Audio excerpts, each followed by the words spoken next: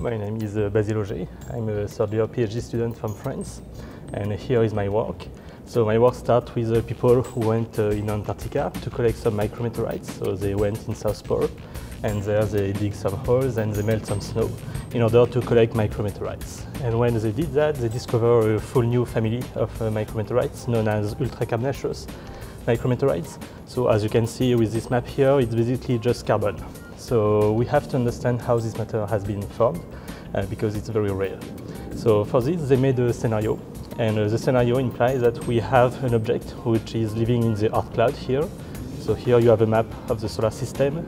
So Sun is here, Earth is here, here you have the main belt, then you have Neptune here, and then Pluto. Here you have the Kuiper belt, and if you go further, you will reach in the Oort cloud. So what we believe is one of the objects was living in the Oort cloud and were irradiated by galactic cosmic rays during millions to billion years. And then this object traveled back to the internal solar system and become a comet.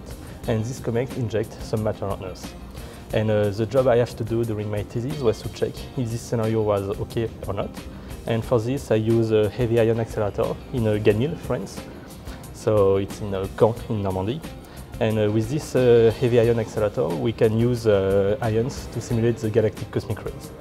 So then we just have to simulate here uh, the surface of Oort cloud object. So for this, we produce on the lab some ices. So us, we use uh, N2CH4 ices. We believe this is relevant for cloud object. And then during the irradiation, we have a lot of different things that is going to happen. Some molecules are going to be destroyed, others are going to be formed. And at the end, we will obtain something. So at the end, we obtain a lot of different uh, molecules, such as HCN, for example.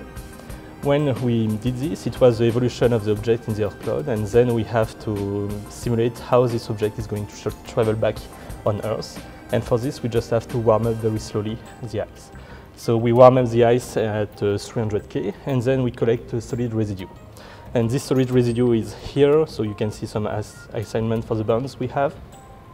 The most important was to compare this uh, infrared spectra from the different residue we obtain with the UCAMM one. So UCAMM is for ultracarbonaceous Antarctic micrometeorites. And what we can see it is very close to. The only difference remains in this band here where the green circle is.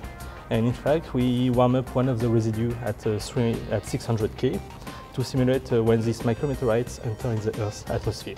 And what's happened is this band disappears and then the spectra looks very close to the UCAMM's one. So for this part, we can say that the scenario is not totally crazy, and it's possible that the UCAMM's uh, micro micrometeorites come from an Oort cloud object.